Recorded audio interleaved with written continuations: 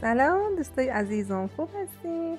بریم که بازیگر سریال یاقی خورده هم در رابطه با فیلم یاقی روزا ترند شده براتون بگم.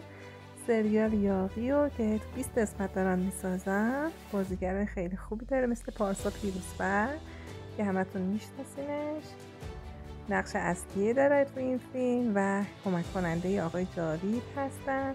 از بازیگر قدیمی هست ساکن کانادا و بعض وقتا میان ایران بازی می‌کنن. بریم سراغ پسر جوونمون. علی شادما متولد 75 لور ایلامه و یک بازیگری خیلی عالی داشتن تو این فیلمه و حالا هم که نقش اصلی دارن جاوید این هم تصویر دیگه از ایشون. که یه پسری هستن که دچار مشکلات فراوونه میشن تو این سریال درام جنایی و کلی حادثه ایجاد می‌کنه. آه هیچکی نیست غیر از امیر جعفری که یه نقش منفی دارن تو این سریال و خیلی هم گل کردن با این نقششون. بریم سراغ خانم نیکی کریمی که متولد پنجاه هستن شناخته شده همتون هستن.